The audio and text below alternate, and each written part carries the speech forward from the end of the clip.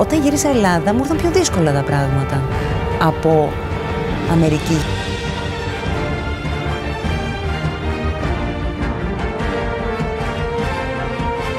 Το να λέμε τώρα είμαι διάσημος στην Ελλάδα ε, μου φαίνεται σχεδόν αστείο.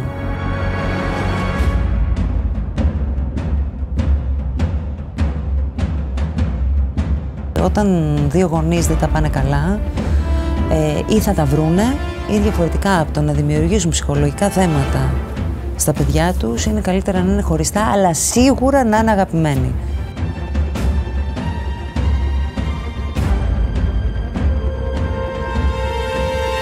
Είναι πολύ καλή η σχέση μου. Πολύ καλή. Δηλαδή δεν, ε, δεν, δεν υπάρχει δηλαδή κάποια σχέση που να πει πω πω η Ευελίνα τι.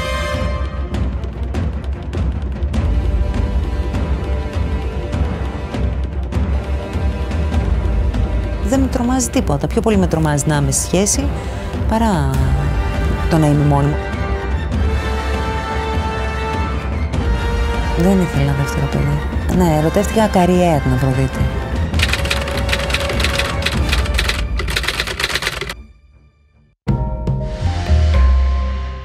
Κυρίες και κύριοι, καλησπέρα σας. Εσείω φτάνουμε στο τελευταίο τέτα τέτ της φετινής 7η σεζόν της εκπομπής. Και κάνουμε φινάλε με μια αγαπημένη ηθοποιό που έχει κυπροποιηθεί τα τελευταία χρόνια. Κάθε εβδομάδα είναι στην Κύπρο. Είναι από τις πιο δημοφιλείς και λαμπερές ηθοποιούς και σε πολύ λίγο θα έρθει και πάλι στην Κύπρο. Η Ευελίνα Παπούλια, τέτα τέτ. Ευελίνα μου. Γεια σου Τάσο μου. Έχεις κυπροποιηθεί, καλά το λέω. Εντελώς όμως. Δηλαδή, σε λίγο θα βγάλω και ταυτότητα. Κάθε πότε είσαι στην Κύπρο; Τα τελευταία έξι Τα τελευταία χρόνια. έξι χρόνια είμαι. Δευτέρα, Τρίτη και Τετάρτη γυρνάω Αθήνα. Άρα κάθε εβδομάδα. Κάθε εβδομάδα αυτό, ναι. Έξι χρόνια.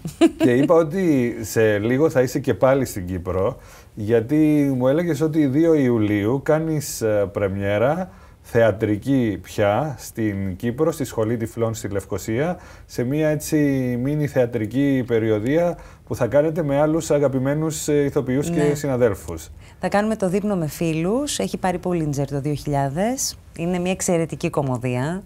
Ε, δηλαδή, μόνο που το διαβάζεις γελάς, οπότε καταλαβαίνεις ότι είναι κάτι το οποίο δεν είναι μόνο βέβαια μια απλή κομμωδία, έχει και κάτι να πει σαν, σε σχέση ε, με τις ανθρώπινες σχέσεις, με τις φιλίες, με το πώς ε, διαμορφώνονται τα πράγματα όταν ένα ζευγάρι είναι μαζί ή όταν χωρίζει. Ε, αλλά όλα αυτά με ένα απίστευτο χιούμορ. Ε, το σκηνοθετεί ο Γρηγόρης ο Βαλτινός και μ, είναι οι φίλοι μου, βασικά παίζουμε με τους φίλους μου, ε, είναι η Άννα Μαρία Παπαχαραλάμπους, ο Φάνος ο Μουρατίδης και ο Λευτέρης ο Ζαμπετάκης και εντάξει, ε, ξέρεις, μέσα στο μυαλό μας, πέρα από τις παραστάσεις, νομίζω ότι θα κάνουμε και διακοπές, επειδή είμαστε πολύ φίλοι. Άκου τώρα τι γίνεται μέσα στο μυαλό μου, έτσι όπως τα είπες.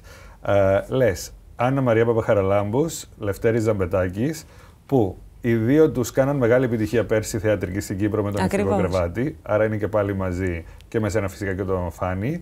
Ο Φάνης Μουρατίδης είναι ο σύζυγος στην πραγματικότητα της Άννας Άννας Μαρίας. Μαρίας. Ε, ο Λευτέρης ήταν για κάποια επεισόδια α, φλερτ σου Φλερτ στον μου. Μπρούσκο. Ακριβώς. Και εσύ με την Άννα Μαρία, αν θυμάμαι καλά που παρακολουθώ τόσα χρόνια τα θεατρικά, ήσασταν μαζί με τον Κιμούλη. ναι, οι ναι, δυο ναι, σας; επικίνδυνες σχέσεις. Και από εκεί γίναμε και πάρα πολύ φίλες. Και ο Γρηγόρης, ο Βαλτινός, που Καλά. τον αγαπάνε τόσο πολύ στην Κύπρο, είναι εξαιρετικός ηθοποιός, τον αγαπώ πολύ τον Γρηγόρη και σκηνοθέτης. Αν θυμάμαι καλά, ήμουν στα πρώτα μου βήματα τότε που ερχόμουν και έκανα με το Κάτσε Καλά. Εσύ και η Τάνια Τρίπη ήσασταν οι κόρες του στο βιολιστή στη Στέγη. Ακριβώς. Έχουμε παίξει μαζί με τον Γρηγόρη, με έχει σκηνοθετήσει αρκετές φορές, οπότε είναι, σου λέω, ε, το- σαν ε, ε, έναρξη κλίματος, είναι αυτό που λες, ε, ναι, θα την κάνω αυτή τη δουλειά οπωσδήποτε. Ξέρεις, μόνο και μόνο για την παρέα και για το πώς θα περάσουμε. Αυτό θα σε ρωτούσα. Γιατί είπες δεν να κάνεις αυτή τη δουλειά. Προφανώς λόγω της παρέας, Ναι, των δηλαδή το, ανθρώπων. το, το έργο, για να φανταστείς, ε, το πήρα μετά. Με το που με πήρε ο Γρηγόρης, είπα, ε, εννοείται, πάμε. Οπότε μετά το έργο το, το διάβασα. Αλλά για καλή μου τύχη ήταν εξαιρετικό το, Το κείμενο, έργο. ε. Ναι, ναι, ναι, έχει πάρα πολύ πλάκα. Είναι από τα πιο ενδιαφέροντα μπουλβάρ, μπουλβάρ που έχω διαβάσει. Έχεις ξανακάνει θεατρικό στην Κύπρο; Όχι, δεν έχω κάνει. Ε, και αυτό, και επίσης δεν έχω κάνει και καλοκαίρι στην Κύπρο, να σου πω την αλήθεια. Οπότε, ναι, είναι Ωραία εμπειρία. Και επειδή θα πάμε και σε διαφορετικά μέρη, πιστεύω ότι θα δω και άλλα μέρη στην Κύπρο εκτός από τη Λευκοσία, που νομίζω ότι έχω δει μόνο τη Λευκοσία από την Κύπρο τόσα ναι, χρόνια. Μου έδωσες λίγο τις ημερομηνίες για να μην τις ε, ξεχάσεις. 2 Ιουλίου λοιπόν κάνετε πρεμιέρα στη Σχολή Τυφλών, που είναι υπέροχο θέατρο. 3 Ιουλίου είστε στην Πάφο, στο αρχαίο Δίο Πάφο. Έχεις πάει στην Πάφο; Όχι. Ποτέ. Ε; Όχι. 4 Ιουλίου στο Πατήχιο Αφιθέατρο στη Λάρνακα. 5 Ιουλίου είστε στο Κηποθέατρο στη Λεμεσό. 6 Ιουλίου στο Παραλίμνη, στο Δημοτικό Αφιθέατρο. 7 Ιουλίου στη Δερίνια, επίσης στο Δημοτικό Αφιθέατρο. Εκεί να πάτε οπωσδήποτε στις παραλίες, έτσι. Θα πάμε. Και Σε πάρουμε μαζί. 8 Ιουλίου στο Δημοτικό Αφιθέατρο της Λακατάμιας και 9 Ιουλίου στο Δάλι, στο Δημοτικό Αφιθέατρο Ιδαλίου. Ε, έχετε 8 παραστάσεις, η μία πίσω από την άλλη. Καλοκαίρι έτσι Ιούλη στην Κύπρο. Ε, το έργο αυτό θυμάμαι, το είχα δει με τον Γρηγόρη Βαρτινό το 2000 στην Αθήνα. Είχε κάνει πολύ μεγάλη, ναι, ναι, ναι, μεγάλη επιτυχία. Πάμε πίσω στην κυπροποίησή σου. Πώς ξεκίνησε, δηλαδή ε, πώς ε, είχες την πρόταση ε, για τον Μπρούσκο; Ξεκίνησε γιατί αρχικά γνώρισα την Βάνα Δημητρίου πριν 7-8 χρόνια ε, ήταν να κάνουμε μία πρόταση για μία τηλεοπτική σειρά. Τελικά δεν, ε, δεν προχώρησε, δηλαδή το κάναμε αλλά δεν προχώρησε σαν ε, δουλειά, όχι για κάποιο λόγο, έτσι απλά δεν προχώρησε. Με τη Βάνα λοιπόν γνωριστήκαμε. Ε, του Αντρέα του είχε δείξει την δουλειά αυτή και καθώς συζητάγανε είπαν «Α, για αυτό το ρόλο υπάρχει Ευελίνα». Εγώ τότε έπαιζα στους δαίμονες με τη Βύση. Παντού Κύπρος. λοιπόν, και είχαν έρθει, είχαν την παράσταση και μετά μου κάναν την πρόταση. Και έτσι ξεκίνησε η συνεργασία. Εγώ το, το μοναδικό πράγμα που του είπα του Αντρέα, λέω, ξέρω ότι η Βάνα για μένα είναι εγγύηση. Ε, από εκεί και έπειτα, συμπαθώ πάρα πολύ, ξέρω ότι είσαι καλός, το μόνο που θέλω είναι να περάσω όμορφα. Και επειδή μου το εγγύηθηκε, η αλήθεια είναι ότι έχω περάσει πάρα πολύ ωραία αυτά τα έξι χρόνια. Και μετά τον Μπρούσκο ήρθε το τατουάζ. Ακριβώς. Ως φυσική συνέχεια. Ως μία συνέχεια πίστευτα όμορφης και αγαπησιάρικης ε, συνεργασίας και εντάξει αυτούς τους ανθρώπους ξέρεις και τον Αντρέα και τον Κούλι και τη Βάνα ε, τους θεωρώ φίλους μου. Δηλαδή είτε είμαστε μαζί σε μια δουλειά είτε δεν είμαστε μαζί σε μια δουλειά για μένα είναι ακριβώς το ίδιο. Έχω πολύ όμορφες ε, μνήμες και πολύ όμορφη συνεργασία όλα αυτά τα χρόνια. Δεν σε κούρασε το πήγαινε έλα αυτά τα χρόνια; Κοίταξε, νομίζω ότι είναι ό,τι πιο κουραστικό υπάρχει από θέμα ωραρίου. Γιατί μπορεί να πηγαίνεις κάθε εβδομάδα δευτερότριτο, αλλά εγώ ξυπνάω από τις 5 η ώρα το πρωί και μπορώ να τελειώσω 1 και 2 ώρα το βράδυ. Και να ξυπνήσω μετά την επόμενη μέρα και 8 η ώρα το πρωί. Οπότε αυτό σαν ωράριο, επειδή δεν υπάρχει άλλος χρόνος, μετά έχω θέατρο, ας πούμε, στην Αθήνα, εκεί είναι λίγο δύσκολα τα πράγματα. Αν δεν είχα θέατρο, θα ήταν εύκολα. Αλλά όταν έχεις και θέατρο, μετά η κούραση απλά συσσωρεύεται και είναι λίγο δύσκολο. Σε ρωτάω διότι πολλοί συνάδελφοί σου έχουν κάνει παράπονα δημόσια σε συνεντεύξεις τους τα τελευταία χρόνια για τις συνθήκες που επικρατούν στα γυρίσματα στην Κύπρο, σε κυπριακές ή ελλαδοκυπριακές σειρές ε, και ήθελα να μου πεις την άποψή σου. Κοίταξε να δεις, σου λέω και πάλι ότι όταν πηγαίνεις μόνο ένα δευτερότριτο να δουλέψεις, είναι λογικό να, και να κουράζεσαι και να κάνεις και παραπάνω πολλές φορές ε, ώρες για να μπορέσεις να προλάβεις ε, τις σκηνές που μπορεί να βγουν ας πούμε σε δύο εβδομάδες από την ώρα που τις γυρνάς.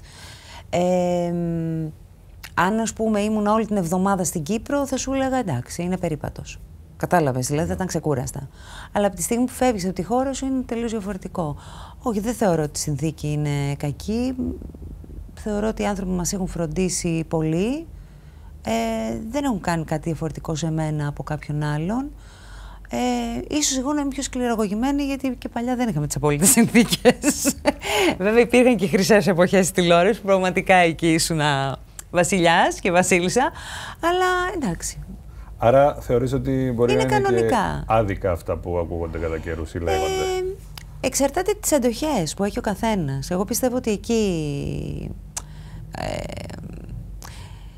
εκεί παίζεται όλο το παιχνίδι. Δηλαδή κάποιος μπορεί να θέλει μια καλύτερη συνθήκη και να μην την έχει ή κάποιος να μην θέλει να ε, ταλαιπωρείται τόσο πολύ ή να μην αντέχει. Εγώ επειδή ξέρω ότι όταν βάζω ένα στόχο αυτό έχω να κάνω, εννοείται ότι αν ας πούμε κολλησιεργούμε, εκεί θα, θα δυσανασχετήσω. Γιατί δεν μου αρέσει να κολλησιεργώ. Δηλαδή δεν θέλω να τραβιέται ο χρόνος και να μην κάνω τίποτα και ξαφνικά στο τέλος να τρέχουμε και τελικά να μπούμε σε μια διαδικασία να κάνουμε υπερορία. Εννοείται αυτό δεν θα με ευχαριστήσει. Αλλά όταν τα πράγματα τρέχουν, δεν έχω κανένα θέμα.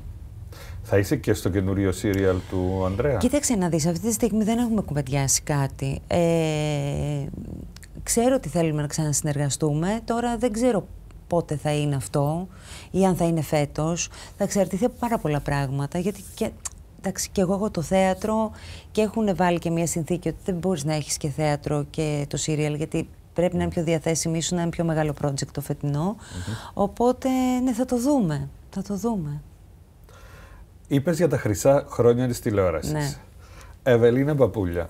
Δεν θέλω να σε στενοχωρέσω, αλλά αυτά τα υπέροχα φοιτητικά χρόνια που μας χάρισες, της δικής μου γενιάς, με τους δύο ξένους, ε.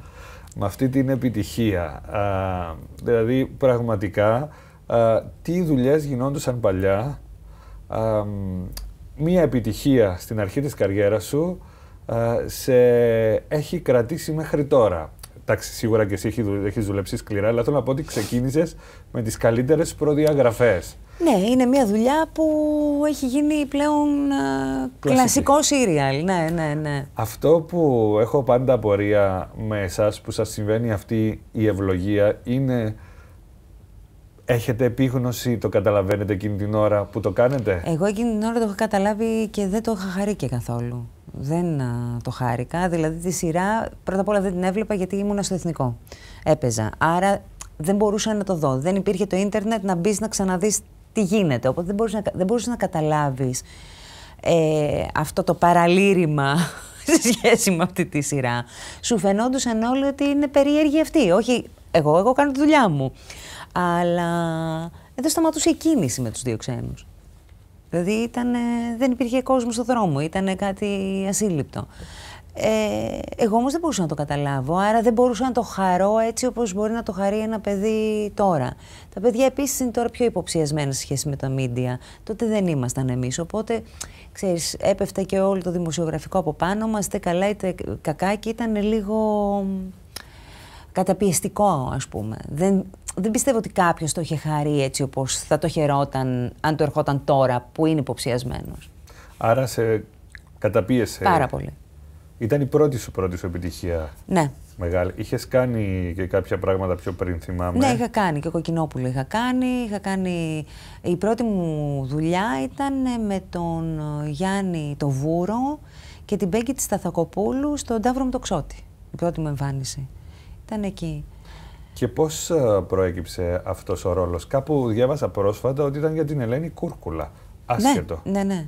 Ναι αυτό Δεν μπορώ να φανταστώ την κουντουρά του. Και είχε παίξει και του Γρηγόρη Βαλτινού το όνομα, ναι. Α, σαν, ναι. Σαν ζευγάρι. Ήταν η Κούρκουλα στο ρόλο σου και ο Βαλτινός στο ρόλο του Σεριανόπουλου. Ναι, θα ήταν κάτι άλλο. Θα ήταν ναι. διαφορετικό. Σίγουρα θα ήταν διαφορετικό. Εσύ πώς προέκυψες; Εγώ προέκυψα γιατί έκανα ένα άλλο σύριαλ ε, στο Μέγκα, λεγόταν Ασυνήθιση ύποπτη, ε, που ήταν ε, συμπροταγωνιστικός ρόλος ε, και από εκεί με είδανε και είπαν τα παιδιά α, να δοκιμάσουμε την Ευελίνα. Με δοκιμάσαν, δηλαδή από ακρόαση πέρασα και έκλεισα. Δεν είχες ε, σχέση μέχρι τότε με τον Αλέξανδρο ή τον. Όχι, γενικά Δημήτρη; εγώ ήμουνα ασχέτη γενικώς με το χώρο αυτόν. Δεν είχα καμία επαφή. Ναι. Δηλαδή, μια δουλειά μου φέρνε την άλλη. Και Πότε άρχισες να ανακαλύπτεις ότι όπα, εδώ κάτι γίνεται τελικά. Δεν είναι μια απλή δουλειά. Κοίταξε, το συνειδητοποιούσαμε γιατί ήταν όλοι πάρα πολύ ευχαριστημένοι. Από τα νούμερα, από το, την απήχηση του κόσμου. Ε, αλλά συνειδητοποίησα πόσο καλή δουλειά ήταν με τα χρόνια. Όταν άρχισα και την έβλεπα, γιατί εγώ δεν προλάβαινα να την δω τη σειρά. Δηλαδή, όταν πεζόταν, εγώ δεν την έβλεπα. Στις επαναλήψεις άρχισα να τη βλέπω. Και είπα, ναι, είχαμε κάνει μια πολύ ωραία δουλειά. Όταν σε βλέπεις, πώς νιώθεις; Όταν mm. βλέπεις εκείνη την uh, αθωότητα της νεότητας. Κοίταξε τώρα δεν με βλέπω σαν εγώ, με ναι. βλέπω σαν uh, το ρόλο, κατάλαβες. Οπότε το χαίρομαι. Ούτε μπαίνω στη διαδικασία να κρίνω, α, δεν ήμουν καλή εκεί, δεν ήμουν καλή στο άλλο. Όχι, το βλέπω σαν σειρά και μ' αρέσει. Τι βλέπεις από την Ευελίνα εκείνης της εποχής; Παιδάκι ήσουν τότε. Ναι, 27. Ε, τι βλέπω από την εποχή εκείνη, τι βλέπω. Νομίζω ότι είχα μια αθωότητα και ένα κέφι για αυτό το πράγμα. Και νομίζω ότι αυτό ήταν που έτσι υπογράμμισε και το ρόλο και εκείνη την εποχή. Γιατί εκείνη την εποχή ήταν όλοι πάρα πολύ χαρούμενοι. Δηλαδή αν τώρα δεις ε, παρουσιάστριες σε ανάλογες εκπομπές δεν έχουν αυτό το, το μπρίο ας πούμε και την υπερβολική χαρά του τότε. Ναι, ήταν η υπήρχε, ναι, υπήρχε και πολύ μεγαλύτερη χαρά. Δηλαδή, αν βγει τώρα μία και είναι έτσι, θα πούμε τι τι έπαθε. δηλαδή, συμβαίνουν διάφορα στον κόσμο. Πώς μπορεί να είναι αυτή έτσι. Ξέρεις, είναι αλλιώς. Ήταν 97, 98, 98, 99, κάπου εκεί. 97, ναι, ναι, 97, 98. Ναι, υπέροχα χρόνια. Ε, εσύ ήξερες ότι ο ρόλος σου πατούσε πάνω στη Μενεγάκη, όπως λέει και ο αστικός μύθος; Κοίταξε να δεις, ε, την ε, ατμόσφαιρα αυτού του πράγματος, ναι, την είχε, αλλά ε, δεν πατήσαμε πάνω σε αυτό. Δηλαδή, δεν, δεν θα ήταν σωστό και θα ήταν λίγο κακέκτυπο. Αλλά ότι πήραμε την ατμόσφαιρα της εκπομπής της, ναι, σίγουρα την πήραμε. Δηλαδή, εσύ, ας πούμε, δεν μιλούσες με τη Μενεγάκη να σου δίνει λίγο έτσι... γιατί καν την ήξερα. Κάπου διάβασα ότι ο Τότε δεν γνωριζόμασταν με την Ελένη. Κάπου διάβασα ότι ο Αλέξανδρος ο και ο Δημήτρης Αποστόλου είχαν μια έτσι επικοινωνία που βοηθούσε στο, στο Α, ενδεχομένως. Όχι ναι. όμως εμένα. Εγώ πιο πολύ κατεύθυνση μπορεί να παίρνω από τον Αλέξανδρο παρά. Ναι. Μετά που γνωριστήκατε με τη Μενεγάκη στο, στο έλεγε, υπήρχε αυτός ο δεσμός, Όχι, δεν μου το έχει πει, δεν μου το έχει πει, αλλά επειδή γενικώ την εκτιμούν πάρα πολύ τα παιδιά, ε, μπορώ να το φανταστώ. Μπορώ να το φανταστώ. Και νομίζω και στην Ελένη τότε της είχε κάνει καλό. Ενώ όλο αυτό το πράγμα, το ότι είχε βγει και αυτή η φήμη, νομίζω ότι ήταν ε, κάτι που την χαροποιούσε, να πω έτσι. Αγχώθηκες, Ευελίνα, πώς θα ξεπερνούσες τη Μαρίνα Κουντουράτου μετά; Όχι, δεν αγχώθηκα. Γιατί πολλοί ηθοποιοί το βλέπουν και ως παγίδα. Όχι, όχι, δεν αγχώθηκα. Απλώς εγώ επειδή είμαι ένας άνθρωπος ε, που μου αρέσει να παίζω διαφορετικά πράγματα και να εξελίσσω ε,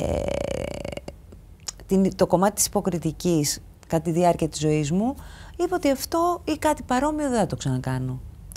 Οπότε ό,τι πρόταση μου είχε γίνει, δηλαδή το δύσκολο κομμάτι εκείνη την περίοδο ήταν να λέω όχι σε παρόμοια πράγματα. Γιατί δεν ήθελα να είμαι κακέκτυπο ενός ρόλου, δηλαδή δεν θα ήμουν καν του εαυτού μου. Θα, θα έκανα μια αναπαραγωγή ενός ρόλου χωρίς κανένα νόημα. Ε, οπότε έκανα διαφορετικές επιλογές. Και γι' αυτό δεν στιγματίστηκα αλλά έμεινε ε, στον κόσμο ότι είχα παίξει ωραία αυτόν τον ρόλο και ήταν μια σπουδαία σειρά. Τώρα που το συζητάμε, σκέφτηκα ότι έχετε αυτό το κοινό σημείο με την Άννα Μαρία Παπαχαραλάμπους, ναι. που και αυτή είχε στιγματιστεί με, τη, με το πρώτο της ρόλο της Ερατός ναι, στους ναι, ναι. ψήθυρους καρδιάς. Ναι, ναι. που, όπως σου είπα, πάντα ένας τόσο δυνατός πρώτος ρόλος είναι παγίδα για το επόμενο ή τα επόμενα βήματα. Ναι.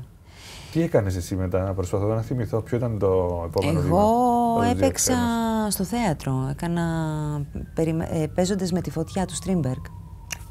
Άλλαξε, έγινε, ξέρεις, αλλαγή σελίδας. Από δύο ξένους πήγες Στρίμπεργκ, Ναι, ναι, ναι. Λίγο αποστασιοποιήθηκα από την τηλεόραση για, έτσι, για ένα διάστημα. Οι γονείς σου, οι φίλοι σου, τι σου λέγανε τότε, ήταν χαρούμενοι; Ναι, ναι, το βλέπανε, τους άρεσε. Ναι.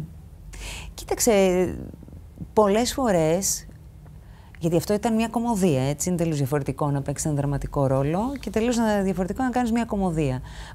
Οι αρνητικές κριτικές υπήρχαν τότε. Το θέμα είναι ότι στη, στη, έτσι, στην πάροδο του χρόνου αυτό σταμάτησε.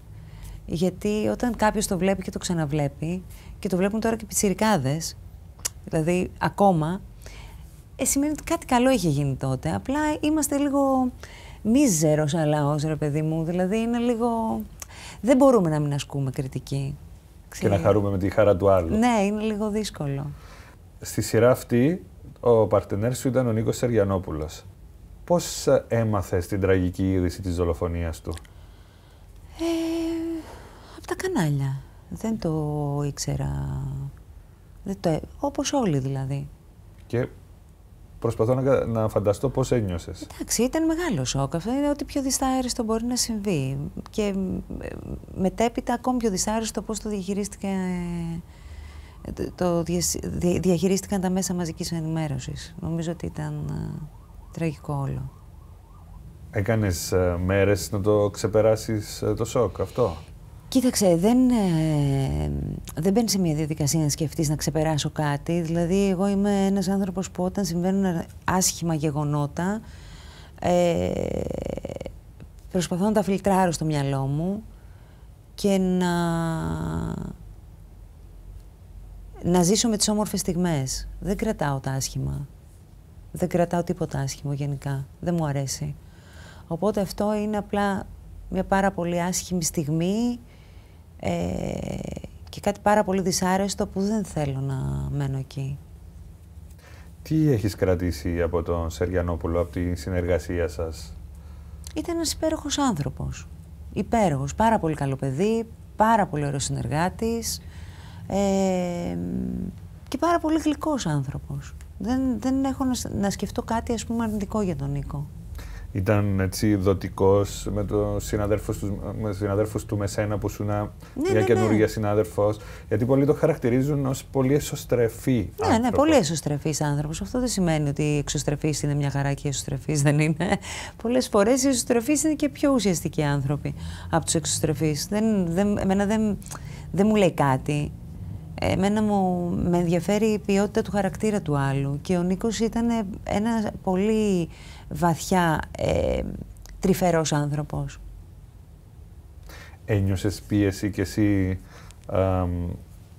από τα μέσα μαζικής ενημέρωσης ε, τότε λόγω του ότι είχες ταυτιστεί Εντάξει, τόσο εγώ δεν πολύ; μίλησα, δεν, όχι, δεν, δεν είχα κανένα λόγο να μιλήσω για αυτό το γεγονός.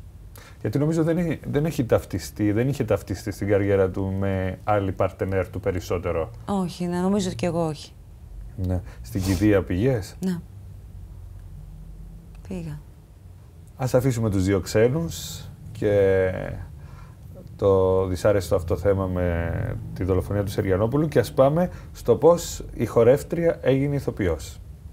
που είναι ε, νομίζω μια ιστορία που θα μπορούσε να έχει άλλη κατάληξη αν εσύ συνέχιζες ως χορεύτρια. Το έχεις σκεφτεί ποτέ; Ε, εγώ ήμουν χορεύτρια, ήμουν σε ομάδες, μετά ήταν να μπω στη λυρική.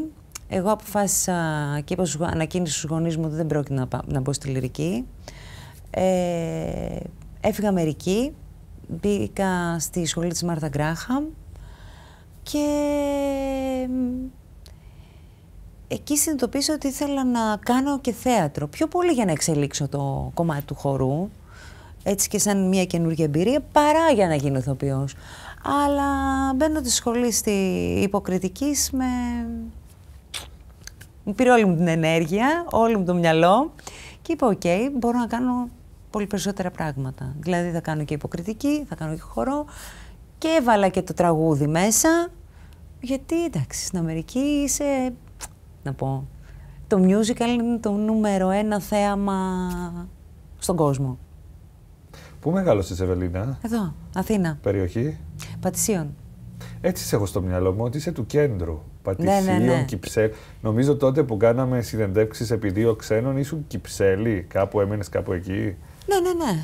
Στην Κυψέλη είναι το, δηλαδή το, το σπίτι μου είναι εκεί. Στην Κυψέλη πάντα κάτι που πηγαίνει. Ναι, ναι. Που λέει Οι γονείς σου πάντα α, υπέρ του να ασχοληθείς με τα καλλιτεχνικά. Κοίταξε να δεις, οι γονείς μου, επειδή βλέπαν ότι είμαι ένας άνθρωπος ο οποίος όταν βάλω ένα στόχο έχω μια στοχοπροσύλωση, δηλαδή δεν λακίζω.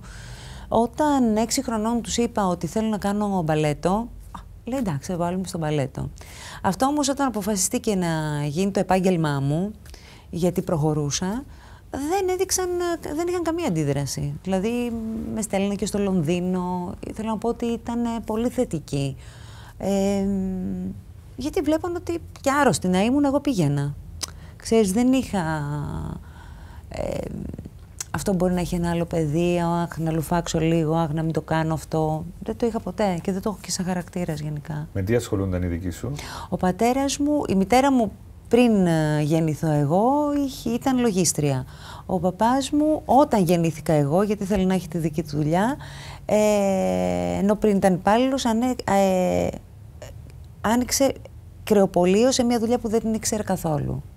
Απλώς ήταν μια δουλειά τότε που έφερνε πάρα πολλά χρήματα. Οπότε ήταν μια διαδικασία για αυτό να μπορέσει να είναι άνετος σε σχέση με το ότι έχει και ένα παιδί πλέον. Ε, η ουσία και των δύο ε, άκρος καλλιτεχνική. Καμία σχέση με αυτά που κάνανε. Ούτε με τη λογιστική, ούτε με το κρεοπολείο. Καμία σχέση. Η μητέρα μου, ας πούμε, ε, ήθελε να γίνει τραγουδίστρια, είχε μια πάρα πολύ ωραία φωνή, δεν την άφησε ο παππούς μου. Ο μπαμπάς μου απίστευτος ζωγραφική. Θέλω να σου πω δύο, δύο φύσεις που εκείνη την εποχή ε, το ουσιαστικό δεν ήταν να κάνεις αυτό που θες, ήταν να επιβιώσεις, ξέρεις. άλλα δεδομένα. Εσύ φυσιογνωμικά, έτσι, με αυτά τα ανοιχτά χρώματα... Ίδιο ο πατέρας μου είμαι. Στον μπαμπά σου, ε; Ναι, ναι. Αδέρφια έχεις; Όχι. Μοναχοκόρη, ναι, μοναχοπέρι. Ναι, ναι, ναι, ναι. Και καλομαθημένη, κακομαθημένη; Ε, στα όπα-όπα. Κοίταξε να δεις, καλομαθημένη. έτσι και έτσι. Νομίζω ότι υπήρχε πάντα μια ισορροπία στο σπίτι. Μια περίεργη ισορροπία υπήρχε. Δηλαδή, ήταν και οι δύο μου γονείς πολύ εξωστρεφείς, ήταν και οι δύο μου, εντάξει η μητέρα μου πιο πολύ από τον πατέρα μου, ήταν και οι δύο του να περνάνε καλά με αυτά που έχουν, ε, πολύ του γλεντιού, οπότε μπορούσαν να κατανοήσουν ότι αν εγώ ήθελα να βγω ή ήθελα να κάνω, ήταν, δεν μπορώ να πω ότι ήμουν κακομαθημένη. Εκτός αν αυτό αυτό μπορεί να το προσδιορίσεις ότι εγώ όταν ήθελα να κάνω αυτό, έκανα αυτό. Άρα δεν είχαν, ξέρεις, ίσως την έννοια, όχι το παιδί, ας πούμε, δεν πηγαίνει, δεν κάνει τις δουλειές που πρέπει να κάνει και θέλει μόνο να διασκεδάζει. Νομίζω ότι μπορεί να υπήρχε η ισορροπία μέσα μου γύρω από αυτό. Και ήσουν συναισθαλμένο παιδί; Ναι, ήμουν κλειστό παιδί. Α, όχι κοινωνικό. Όχι. Γιατί; όλα τα μοναχοπέδια. Πιστεύω ότι στην αρχή κρατάνε μια απόσταση τα μοναχοπέδια μέχρι να νιώσουν πολύ οικία με τον χώρο, το περιβάλλον και τους ανθρώπους που είναι μαζί και τότε ανοίγονται και γίνεται χαμός. Τι όνειρα έκανες τότε; Ήθελα να είμαι χορεύτρια του American Ballet Theater. Εξού και η Αμερική. Ε, όχι ότι δεν πήγα, πήγα. Αλλά είχα κάνει και την επέμβαση τότε στο πόδι μου, οπότε δεν ήμουν στα καλύτερά μου. Χτύπησες. Έχω βγάλει το μηνίσκο μου. Από χτύπημα ή από προπόνηση. Από δηλαδή προπόνηση, ναι. ναι. Και αυτό ήταν καθοριστικό στο Κοίταξε, να ήταν καθοριστικό για μένα, όχι να σταματήσω, ήταν καθοριστικό στο ότι δεν, δεν είχα καθόλου την υπομονή της αποθεραπείας. Δηλαδή μόλις ένιωθα καλά, πίεζα το πόδι μου με αποτέλεσμα να ξαναπιάνει υγρό, οπότε δεν του έκανα καθόλου σωστή αποθεραπεία και λίγο το ρήμαξα το γονατάκι. Εδώ. Στην Αμερική πώς ήσουν, δηλαδή ήταν μια ατμόσφαιρα και η Νέα Υόρκη ήταν μια πόλη που σου τέριαζε; Τέλεια. Τέλεια, τέλεια, τέλεια. Πέρασα φανταστικά στη Νέα Υόρκη. Ήσουν σαν τη σειρά που βλέπαμε τότε το Fame; Ε, ναι, κάπως έτσι. Ήτανε, ε, ήτανε, αν μου έλεγες από εμπειρίες ζωής τι θα ήθελα να, ποια, ποια εποχή θα ήθελα να, να επαναλάβω, θα σου έλεγα τα φοιτητικά μου χρόνια. Πότε Ήταν... πήγες; θα πάω καλά και με το χρόνο εγώ. Ε... Μια χαρά τα πας από ό,τι βλέπουμε. Πότε πήγα, πήγα... Ε... 90? Πού πρέπει εκεί; Νομίζω και λίγο πιο πριν. Σίγουρα ναι. γύρισα 93 ή 94. Και πόσο έμεινες; Έμεινα, ήμουνα δύο χρόνια σε ρί και άλλα δύο που πηγαίνω Ναι. Και τι ήταν αυτό που σου άρεσε στη Νέα Υόρκη; Μ' άρεσε η ζωή. Δεν χρειαζόμουν να κοιμάμαι 8 ώρο, κοιμόμουν 3 ώρες και ήμουνα τούρμπο. Μ' άρεσε πάρα πολύ. Έχει να δεις πράγματα, μπορείς να ζεις πολύ όμορφα στην Αμερική, ε, έχει πάρα πολλές ευκαιρίες, δούλεψα. Θέλω να σου πω ότι μου ήρθαν πάρα πολύ ευνοϊκά όλα.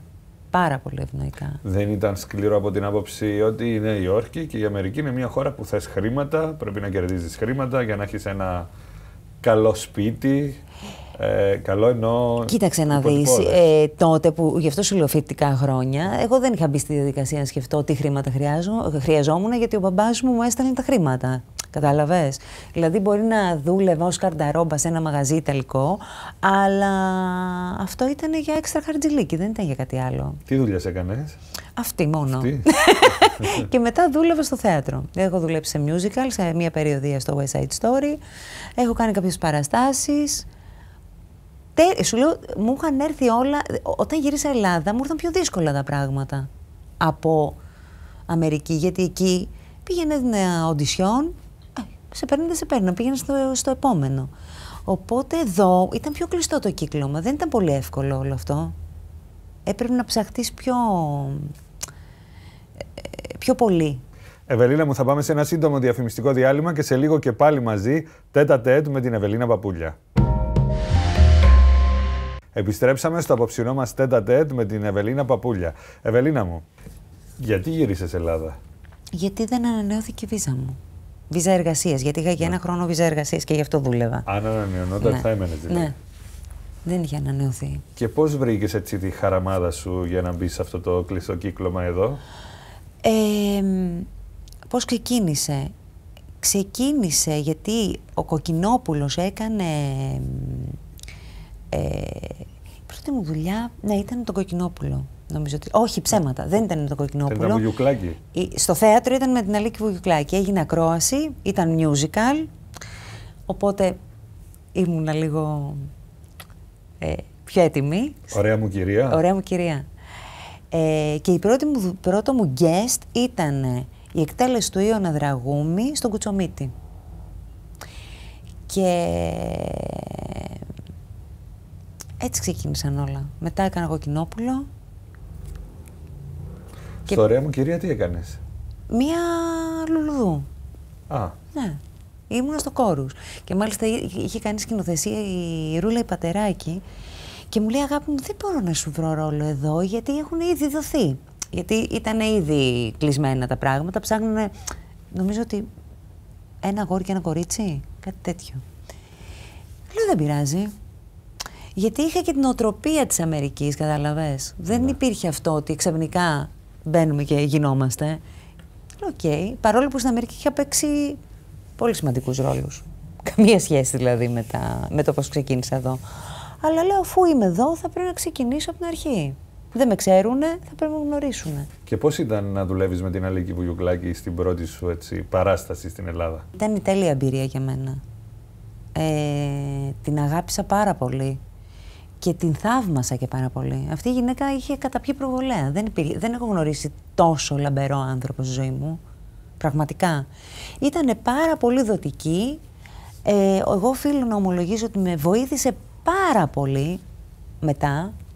Δηλαδή, ε, μας είχε συστήσει στον αντένα όλες τις κοπέλες που δουλεύαμε. Ε, έτσι πήρα το ταύρο με το δοξότη γιατί με είχε πάρει κάποια στιγμή ο κύριος Σούντρης και με ενημέρωσε ότι υπάρχει αυτός ο ρόλος, θα σε ενδιέφερε κτλ. Και, και λέω εννοείται. Και οι άλλες κοπέλες δουλέψανε. Ενώ ότι ήταν πάρα πολύ. και, και, την, και στο θέατρο επίσης. Γιατί ξέρεις, θεατρική παραγωγή παίρνουν ένα τηλέφωνο να σου πω πώς ήταν σε συνεργασία αυτός, αυτός, αυτός. Και είχε πει πολύ καλά λόγια, τα οποία βέβαια δεν τα ήξερα εγώ τότε, τα άμαθα πολύ μετά. Εσύ ένιωθες ένα δέος ότι έπαιζες με την εθνική στάρ; Εγώ γενικά είμαι ένας άνθρωπος που δεν έχω δέος. για τίποτα και για κανέναν. Αντιμετωπίζω τους ανθρώπους ε, με σεβασμό για αυτό που είναι. Αλλά δέος, να πω ότι είχα, έχω δέος για κάποιον, δεν ξέρω όποιον και να μου φέρεις, νομίζω ότι αλλά αυτό δεν σημαίνει ότι δεν θα σεβαστώ το ποιος είναι. Δεν θα σεβαστώ την ιστορία του, ε, δεν θα σεβαστώ τον χαρακτήρα του, Θέλω να σου πω, έχω, ε, έχω μια άλλη είδους νοοτροπία. Επειδή ήσουν νεαρούλα τότε, γι' αυτό το λέω. Μεγάλωσες με ταινίες της ε, Αλίκης. Ναι, βέβαια. Εννοείται. Εμένα μου άρεσε πάρα πολύ η Αλίκη. Την είδα και στο θέατρο όταν ήμουν μικρή και είχα πάθει σοκ. Σου λέω, ήταν το πιο λαμπερό πλάσμα που έχω δει στη ζωή μου. Και το ωραία μου κυρία πρέπει να ήταν ε, λίγα χρόνια πριν πεθάνει, αν δεν κάνω λάθος. Το 96 που πέθανε ναι, έκανε νομίζω το... ότι έκανε το... τη μελωδία της Ακριβώς. ευτυχίας. Νομίζω δύο χρόνια έσπηγε η μελωδία της ευτυχίας. Ναι. ναι. Άρα πιο πριν πρέπει να ήταν το Ναι. ωραία μου κυρία. Τι κράτησες από αυτή τη συνεργασία, πιστεύεις, Ευελίνα, με την Αλική Βουγιουκλάκη. Η... Είχε ένα μεγαλείο η Αλίκη για μένα. Δεν ήταν, ας πούμε, ότι αυτή ήταν η στάρ και εσείς ήσασταν οι μικρές που κάνατε ένα ρολάκι; Όχι. Θα σου πω κιόλας είναι και αστείο. Ε... Κάποια στιγμή εγώ γενικώ βαριέμαι πάρα πολύ να βάφομαι. Το έχω πάρα πολύ έντονο και για πάρα πολλά χρόνια δεν βαφόμουν ούτε στο θέατρο. Δηλαδή, άντε να βαφα τα μάτια μου, αλλά make-up αυτά δεν βαφόμουν καθόλου. Λοιπόν, η Ελέγη ήξερε ότι είχα σγουρά μαλλιά, έτσι με είχε γνωρίσει, έτσι το. Κάποια στιγμή μου λέει: Βρε, Εύελινα μου, γιατί πιάνεις τα μαλλιά σου πάνω; Α τα μπουκλάκια σου κάτω. Εντάξει. Ξανά εγώ πάνω τα μαλλιά. Βρε, Ευελίνα μου, βάψου λιγάκι. Κάποια στιγμή, επειδή μου έλεγε, μα φτιάξουμε, κάνε, ε, λέω κυρία Λίκη, έτσι κι αλλιώς εσάς, εσάς θα κοιτάνε. Εμένα ποιος θα μου δώσει σημασία; Και γύρω γελάει και μου κάνει, ε, εντάξει, εδώ έχεις ένα δίκιο, κάνε ό,τι θες. το οποίο το είπε με τόσο χιούμορ και είχε τόση πλάκα. Είχε απίστευτο χιούμορ η Αλίκη. Απίστευτο χιούμορ. Ε, δεν ξέρω, εγώ πέρασα πάρα πολύ ωραία εκείνη τη χρονιά μαζί της. Πάρα πολύ όμορφα. Έφυγε νωρίς δυστυχώς. Πολύ. Κανείς δεν το Πολύ. περίμενε. Και φαντάζομαι το σοκ σου όταν άκουσες και αυτή την είδηση. Ε, ναι, ήταν και πολύ δυσάρεστο. Βέβαια το ήξερα εγώ πιο πριν. Το είχα μάθει και το είχα μάθει από τον Γιώργο το Λεμπέση που ήταν παραγωγός και συνεργάτης στο θέατρο για πάρα πολλά χρόνια. Δουλεύαμε πάρα πολλά χρόνια μαζί και το είχα μάθει από εκεί. Α, ήταν πολύ στενάχωρο, δεν μπορούσες να πας να τη δεις, ήταν λίγο... Είπαμε πριν ότι δούλεψες με τη Βύση στους Ναι. Δαίμονες. Είχα δει πριν μερικά χρόνια που την είχαν εξώφυλλο σε ένα περιοδικό και έγραφαν τον έξυπνο τίτλο «Η, η νέα μας ε, ΑΒ, η εθνική στάρ ΑΒ, πώς ήταν η Αλική Βουγιουκλάκη». Άννα Βύση, η Αλική Βουγιουκλάκη. Ε, από τη συνεργασία σου με τη Βύση, τι έχεις να πεις, τι έχεις κρατήσει; Τέλεια, είναι υπέροχος άνθρωπος. Είναι, ξέρεις τι έχει η Άννα, αυτό που μου αρέσει πάρα πολύ. Έχει ουσιαστικό star quality. Δηλαδή δεν υπάρχει περίπτωση να ασχοληθεί με βλακίες. Δεν την αφορούν τα κοτσομπολιά. Ε, θα κάνει τη δουλειά της και είναι στρατιώτης. Ε, είναι μάχημη, δηλαδή μέχρι εκεί που δεν πάει. Κάνει πράγματα, δοκιμάζει διαφορετικά πράγματα. Είναι, πώς να σου πω, είναι σπουδαία η Άννα. Και μου αρέσει πάρα πολύ ο χαρακτήρας της Άννας. Κολλήσατε δηλαδή, είχατε Ναι, ναι, χημεία. ναι. Μένα μου, τη συμπαθώ πάρα πολύ δηλαδή και είναι και από τους ανθρώπους που εκτιμώ πάρα πολύ. Πώς προέκυψε ο ρόλος της ε, Με μάγισσας. ακρόαση. Με ακρόαση, ναι. Α, δεν τον πήρες επειδή είσαι η Ευελίνα Παπούλια. Όχι, όχι. Μάλιστα με πήραν τηλέφωνο γιατί ντρεπόντουσαν και μου λένε να σου πω, θα κάνουμε ακρόαση για αυτό το ρόλο. Και επειδή είναι ο ρόλος έτσι, έτσι και έτσι και πρέπει να έχεις αυτές τις φωνητικές δυνατότητες κτλ. Θέλω ο Καρβέλας να ακούσει κάποιους. Βέβαια εντάξει, μου λέει δεν θα, θα περιμένεις, θα είσαι με ραντεβού, αλλά... Λέω οκ, κανένα πρόβλημα. Πάλι η Αμερική. Ε; Είναι, το- είναι το attitude της Αμερικής, η νοοτροπία, το mentality. Ναι, εμένα μου αρέσουν και οι ακροάσεις. Η πλάκα πια είναι ότι εγώ έχω μια, έναν αμυντικό τρόπο στην ακρόαση. Είμαι πάρα πολύ χύμα και οκ, εντάξει, δεν υπάρχει κανένα πρόβλημα. Λ- Μου λειτουργεί έτσι. Και κάποια στιγμή, αφού έχω πάρει το ρόλο, μου βγαίνει ο Παντελιδάκης που είχε κάνει τη σκηνογραφία εκεί. Να σου πω, παιδί μου, τον ήθελες το ρόλο. Σαν τρελή. Φαινόταν σαν να μην σε ενδιαφέρει καθόλου. Λέω, μα έτσι, έτσι είμαι. Ξέρεις. Έχεις ε, πληγωθεί ή απογοητευτεί από σχέσεις σου στο χώρο;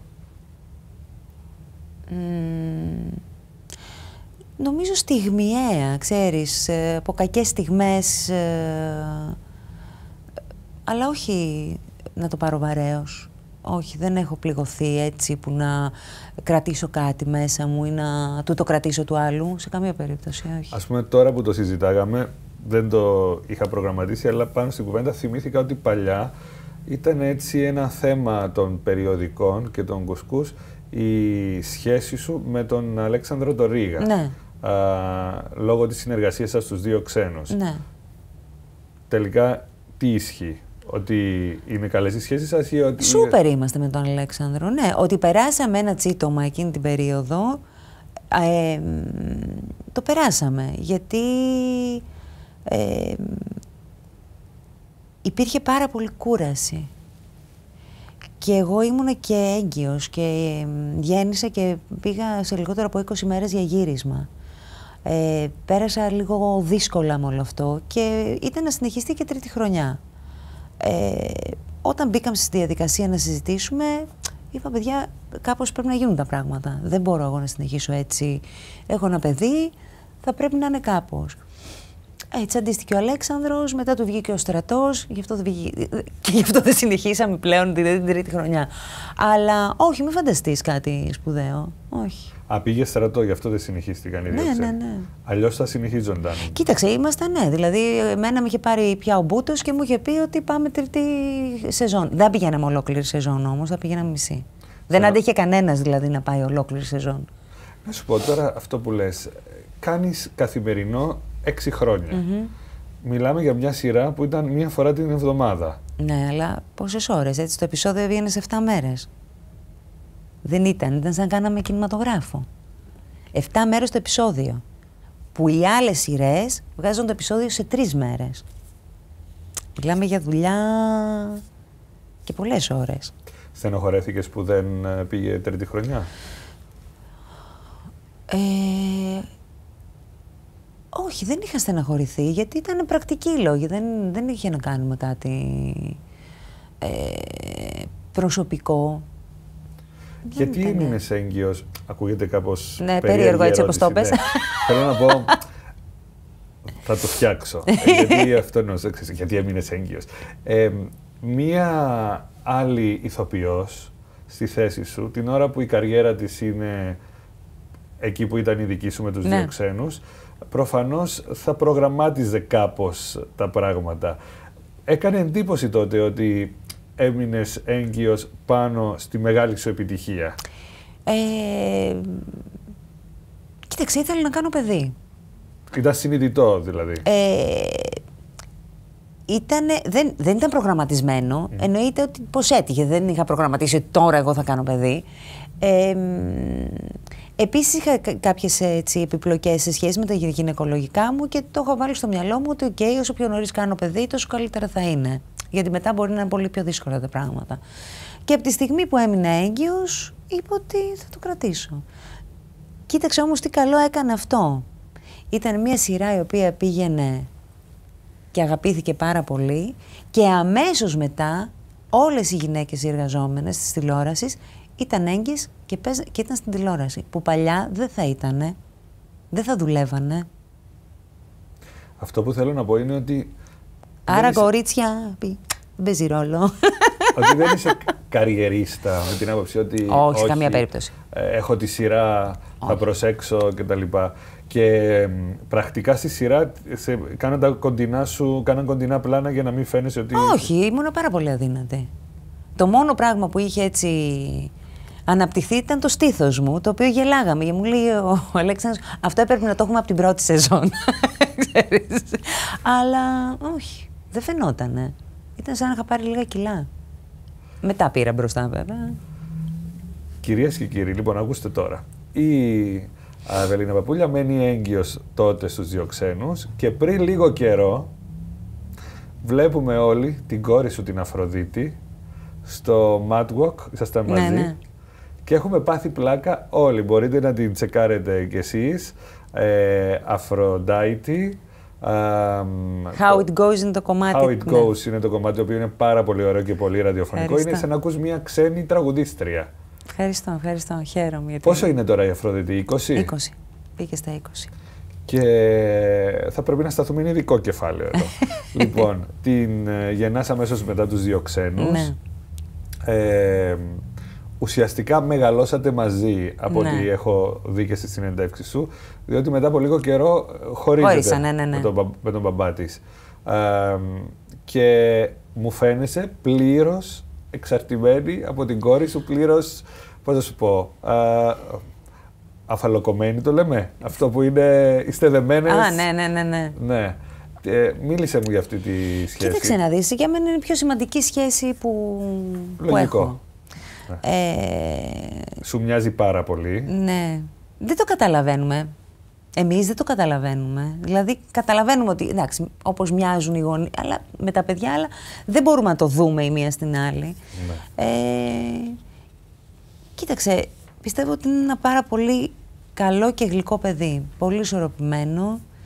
Ε, παλεύει για τα όνειρά της πάρα πολύ. Την θαυμάζω απεριόριστα και δεν τη θαυμάζω τώρα γιατί ε, ξέρεις, προσπαθεί να κάνει τα πρώτα της βήματα στο επάγγελμα που έχει επιλέξει. Θαυμάζω γιατί είναι ένας ωραίος άνθρωπος ε, και πάρα πολύ έντιμο παιδί. Ε, Σου μοιάζει σε χαρακτηριστικά, ενώ όχι εξωτερικά, στο χαρακτήρα. Έχουμε αρκετά κοινά. Έχουμε αρκετά κοινά. Απλώς η Αφροδίτη, ε, η ενέργειά της είναι άλλου τύπου. Δηλαδή, εγώ είμαι πιο αλέγκρα να το πω.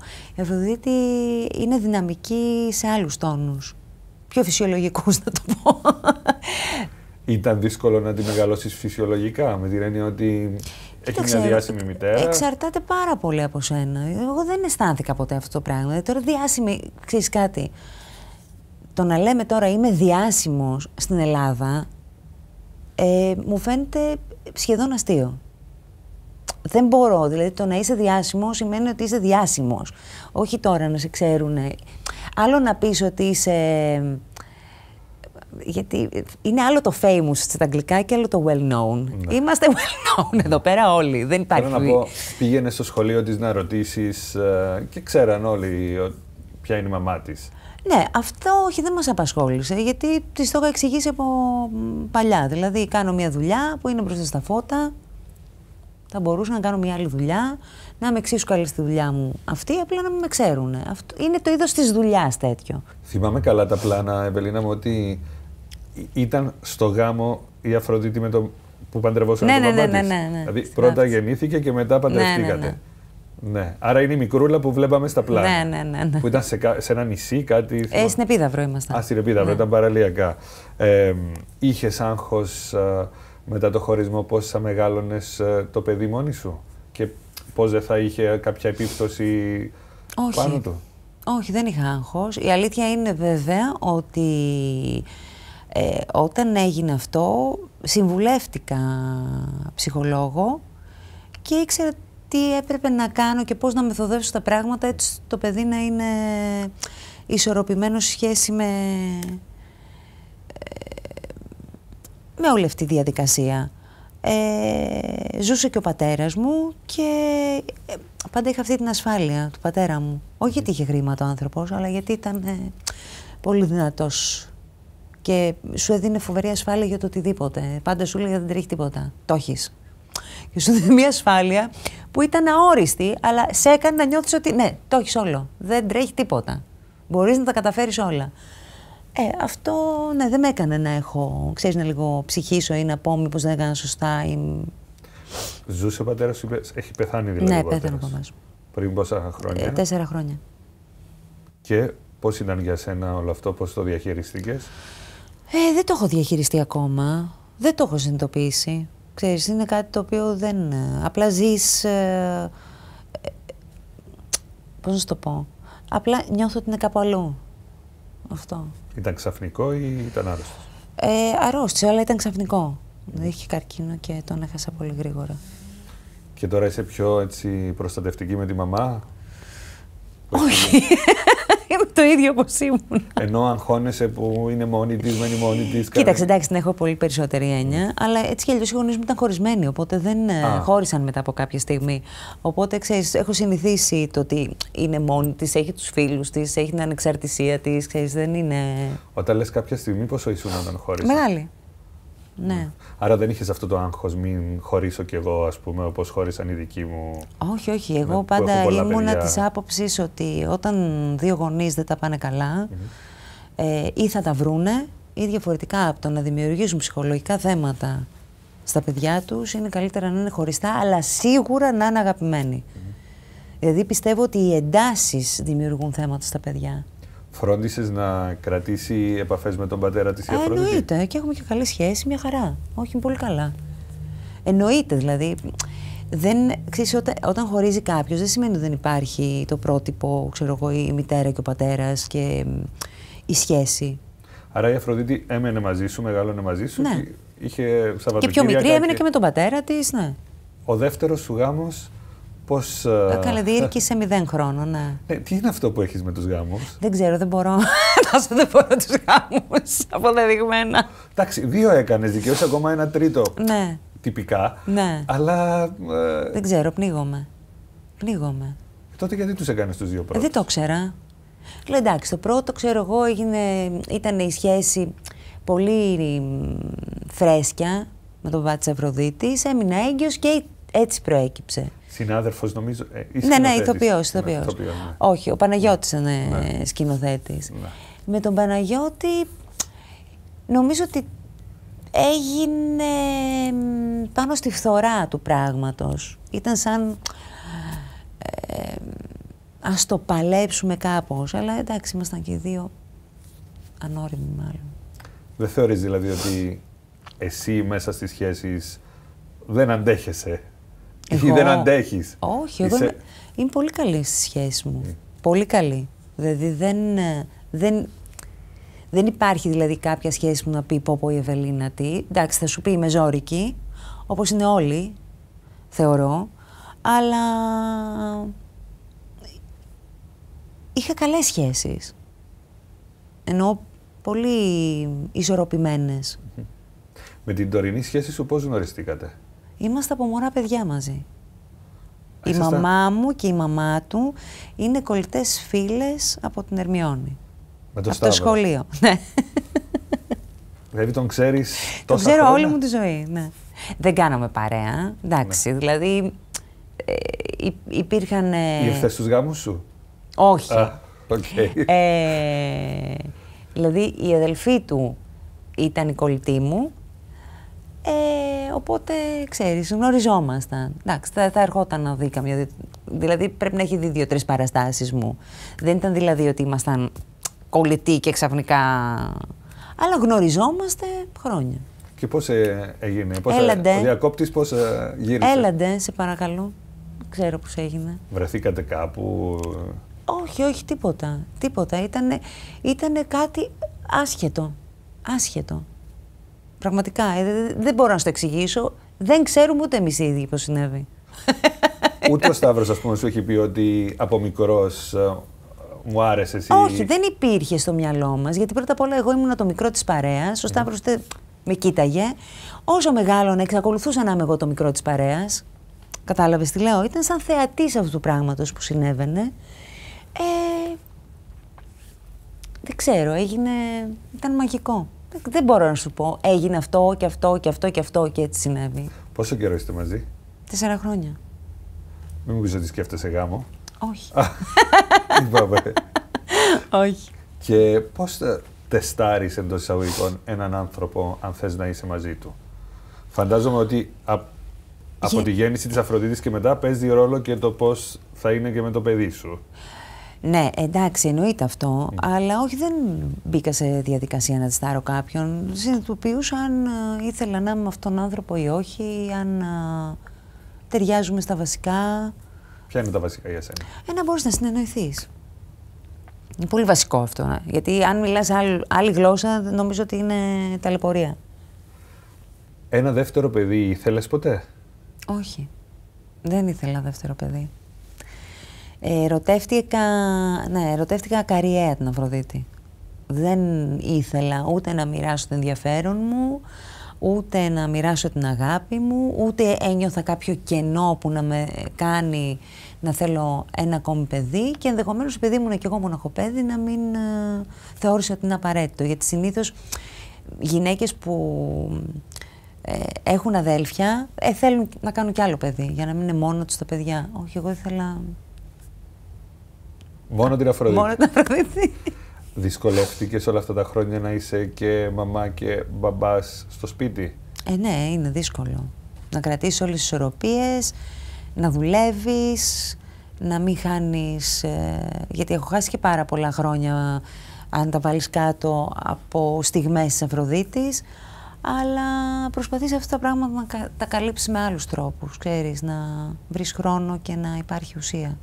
Όταν ξαναπαντρεύτηκες, τι σου είπε; Γενικά κάνει κριτική για τις αποφάσεις σου. Ήταν και τις- μικρή όταν ξαναπαντρεύτηκα. Δεν υπήρχε θέμα κριτικής. Ναι. Εκεί ξαναχώρησα στο μήνα. Ε, Στη Σκωτία. έγινε; ναι, ναι. Σκωτία πώς; Πώς Μ' προέκυψε; άρεσε εμένα γιατί καθόμαστε και μου λέει: ε, Θες να παντρευτούμε; Όχι, καλά του λέω. Μου λέει. Λέω για να παντρευτούμε, λέω εγώ άμα να παντρευτώ θα παντρευτώ στη Σκωτία, σε κάστρο. Έλεγα κάτι κουφά. Τέλος πάντων. Παναγιώτης κάθισε στα βρήκια και κάναμε αυτό το γάμο. Τρομάζεις όταν συνειδητοποιείς ότι δεν θέλεις άλλο; Τι άλλο γάμο; Όχι, ότι δεν θες άλλο να είσαι με τον άνθρωπο ας πούμε, που είσαι. Ότι θες να χωρίσεις, ας πούμε. Τρομα... Σε τρομάζει αυτό το πράγμα; Όχι. Γιατί για να φτάσω σε αυτό το σημείο πάει να πει ότι δεν με τρομάζει τίποτα. Πιο πολύ με τρομάζει να είμαι στη σχέση παρά στο να, το να είμαι μόνη μου. Ο μεγαλύτερος φόβος νομίζω των περισσότερων, των περισσότερων ανθρώπων είναι το κομμάτι της μοναξιάς, ότι δεν θα έχουν κάποιον δίπλα. Ε, αν δεν υπάρχουν πρακτικά ζητήματα, δηλαδή οικονομικά.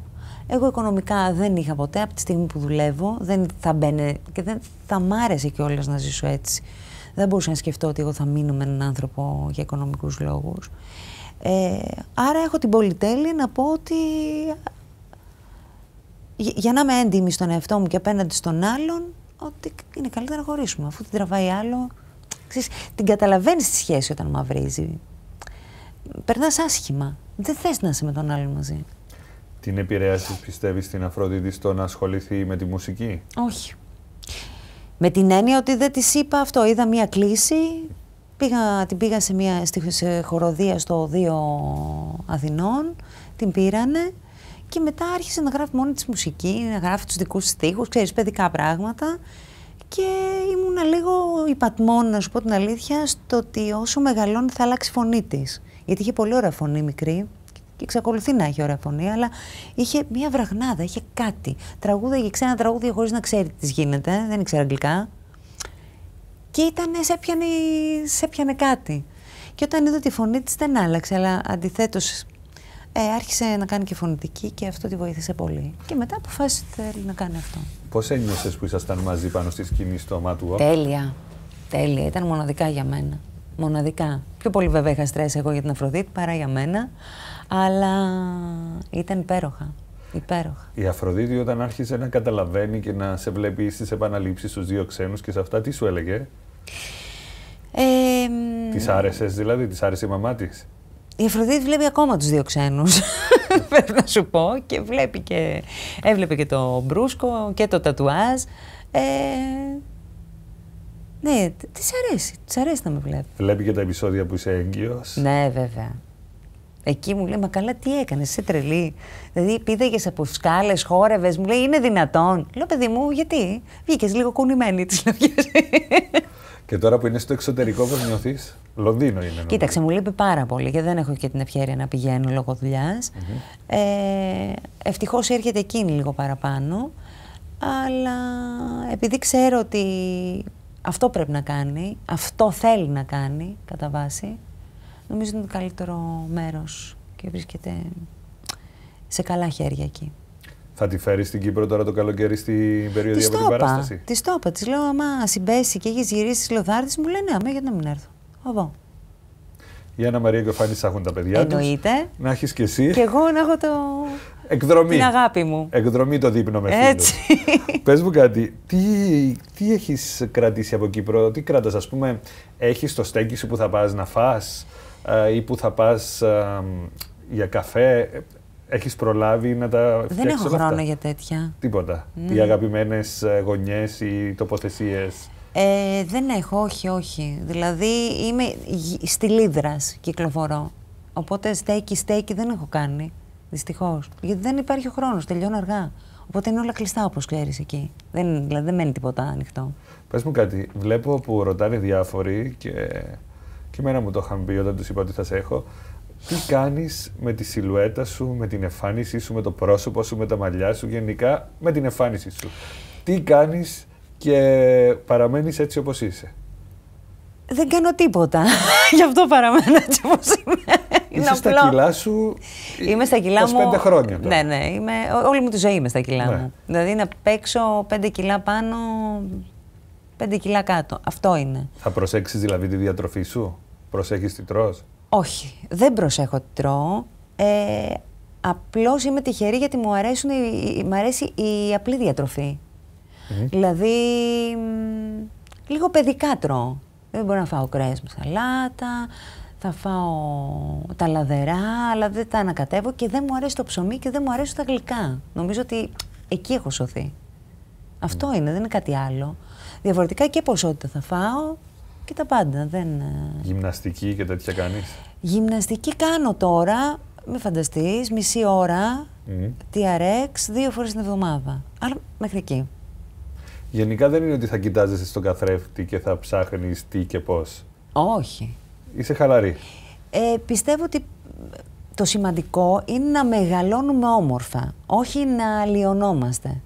Δηλαδή, οι ρητίδες είναι μες στο πρόγραμμα. Δηλαδή, βλέπεις 25 χρόνια παιδιά και έχουν ρητίδες. Δεν μπορείς να φτάνεις, ας πούμε, 40, 45, 50, 60, ξέρω εγώ, και να είσαι τσίτα. Φαίνεται ότι είναι αφύσικο. Και πιστεύω ότι έχει και μ, μία άλλου είδους μαγιά. Πάντως είναι τσίτα το πρόσωπό σου. Τι τσίτα, μωρέ, κι εσύ; Είναι. Δεν ξέρω, σε έβαψε καλά ο Με. Γκίγκας. Τέλος πάντων, ναι, εντάξει, δεν, δεν έκανες ποτέ τίποτα; Ε, μπότοξ έχω κάνει, ναι. Αλλά δεν μου κρατάει. Είμαι απογοητευμένη και από αυτό. Ευελίνα μου, σε ευχαριστώ που ήσουν στο τελευταίο τέταρτε της σεζόν. Εγώ σε ευχαριστώ που με κάλεσες. Μιας έβδομης σεζόν που θέλω να πιστεύω ότι α, φιλοξενήσαμε Να τις προσωπικότητες. εκατοστήσεις. Έχουμε εκατοστήσει ήδη, ναι. Πάμε 200 και πάνω. Τις χρονιές λέω. Α, τις χρονιές, ναι, τη σεζόν. Ε, μακάρι. Λοιπόν, ε, πώς θα διατηρούμε και εγώ όπως εσένα όμως, είναι το θέμα Ε, αυτό. Εντάξει. Και χαίρομαι πάρα πολύ που θα είσαι και το καλοκαίρι στην Κύπρο, θεατρικά και θα έρθουμε φυσικά να σας Δείπνο δούμε. με φίλους. Σας περιμένουμε όλους τους φίλους μας εκεί. Και να είναι στη σκηνοθεσία του Γρηγόρη Βαλτινού όπως Θα σου είπα. γελάσουμε; Πάρα πολύ. Είναι, είναι πολύ ωραία κομμωδία. Το Πραγματικά. καλοκαίρι θέλει γέλιο, θέλει κομμωδία το Εννοείται. καλοκαίρι. Ναι, τι, να Καλοκαίρι μαυρίσουμε; Νύχτες. Μαυρίσουμε από τον ήλιο. Και Τάσος. 2 Ιουλίου μου είπες ότι ξεκινάτε από τη σχολή Τυφλό Ναι. και θα πάτε σε όλη την Κύπρο. Ένα καλοκαιρινό τουρ, μια καλοκαιρινή τουρνέ στην Κύπρο. Ναι, και νομίζω ότι και τα παιδιά δηλαδή στην Κύπρο τους αγαπάνε, δηλαδή και τον Φάνη τον Μουρατίδη και την Αννα Μαρία Παγαραλάμπους και τον Λευτέρη το, το Ζαμπετάκη. Νομίζω ότι τους ξέρουν κιόλας. ναι, ξέρεις. ναι, σίγουρα. Είναι, Πολύ. ε, ε, νομίζω ότι είναι, είμαστε όλοι οικία πρόσωπα και για μένα είναι εμπειρία γιατί δεν το έχω ξανακάνει. Δεν έχω ξανακάνει περιοδία στην Κύπρο, δεν έχω παίξει θέατρο. Χαίρομαι πάρα πολύ να ευχαριστήσω και εγώ με τη σειρά μου το ξενοδοχείο Μεγάλη Βρετανία που μας φιλοξένησε απόψε. Ένα μεγάλο ευχαριστώ στην τράπεζα RCB που είναι ο χορηγός μας, ήταν ο χορηγός μας και για αυτή τη σεζόν και στο Ξένος Travel που φρόντισε τα ταξίδια μας κυρίως στην Αθήνα αλλά και το ταξίδι που είχαμε στο Παρίσι για τον α, Κώστα Γαβρά και τον Ανδρέα Μαυρομάτη. Να ανανεώσουμε το ραντεβού μας αν όλα πάνε καλά για τον Οκτώβριο, για τον προσεχή Οκτώβριο. Να περάσετε ένα υπέροχο καλοκαίρι, να είστε καλά, καλό σας βράδυ.